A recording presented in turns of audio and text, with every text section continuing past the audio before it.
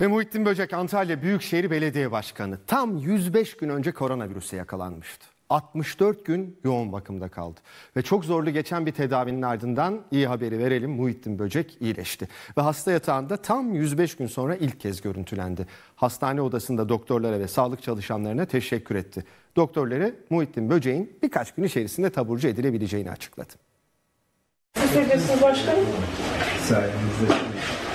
İyi haber 105 gün sonra geldi. Koronavirüs tedavisinde sağlığına kavuşan Muhittin Böcek aylar sonra ilk kez böyle görüntülendi. Sağlık çalışanlarına, dua edenlere, arayan soran herkese çok teşekkür ederim.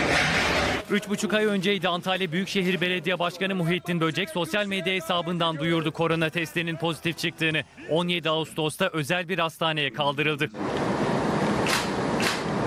Durumu kötüleşince Akdeniz Üniversitesi Hastanesi'ne sevk edildi. 7 Eylül'de de yoğun bakım servisine alındı. Tedavi süreci zorlu geçti. Akciğerlerindeki rahatsızlık nedeniyle solunum kaslarında sorun oluştu. Yoğun bakım tedavisi 64 gün sürdü. servise çıkması bizleri çok mutlu etti. Muhittin Böcek durumu iyiye gidince 20 gün önce yeniden normal servise çıkarıldı. Önce hareket etmeye ardından da gıda almaya başladı. Başkanımızın bilinç durumu çok iyi. Her şeyden haberi var. En kısa sürede e, dönmeyi bekliyor.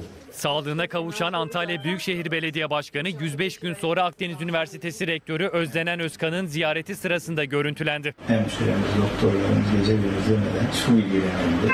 Dualarım size. İnşallah görevinizin başına en kısa zamanda sizi görmeyi istiyoruz. Muhittin Böcek'in birkaç gün içinde hastaneden taburcu edilmesi bekleniyor.